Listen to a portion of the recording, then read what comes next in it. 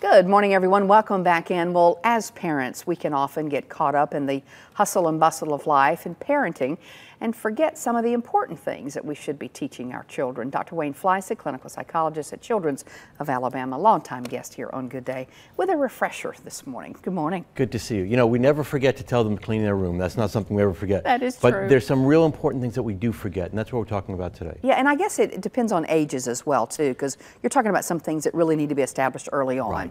So the first thing we're talking about is actively teach values. You know, a lot of parents just assume kids will get it, um, and they don't talk about values until the kid does something wrong. Mm. But when you look at the world around you, you see there are a lot of people out there who don't have the values that you want. So you want to think about teaching these values on an ongoing basis, proactively, positively, living them yourself and modeling They live by them. example. Right, and also praising the kid when he does the right thing, and talk about these values ongoing. I love this one. Put yourself in the future. Think about how you want your child to look back on his childhood. Right.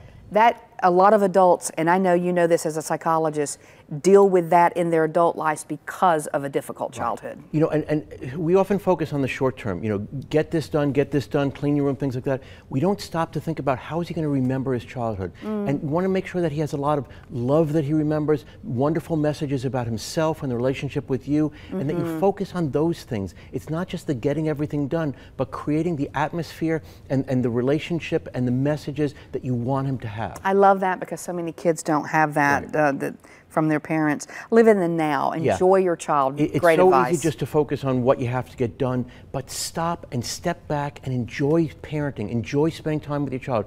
Put away the electronics and actually have fun with your child. Mm-hmm. It's not about get everything everything done. It's about raising a wonderful child.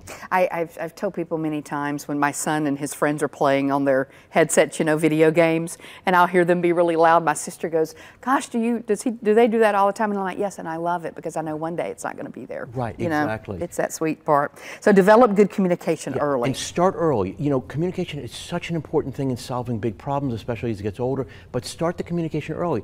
Talk about values, talk about feelings, and just have open communication so you have this foundation built so that when problems come up, you can communicate with your How child. much do you say share with them? Because I know a lot of families, a lot of parents go, I'm the parent, you don't need to know about that. But isn't that phrase even something that makes a kid kind of wonder what's going on? So obviously there's certain things that are too hard for a child to understand or to deal with, but you do talk about feelings. Show that sometimes you get upset or that things frustrate you, and then you can model the coping skills for him so he can see how to co cope with these things. Okay, and the final one here on the list. Um, continually and constantly let your child know through your actions and your words how much you love them. Mm. We just assume they know this, but don't assume that. Keep saying it, keep showing it. There, there, are very few things that are more important than this that he grows up knowing how much he loved and how wonderful you think he is. Man, that is so important. All right, Dr. Wayne Fleisig, thank you so much. Good to see you. All right, we'll be right back.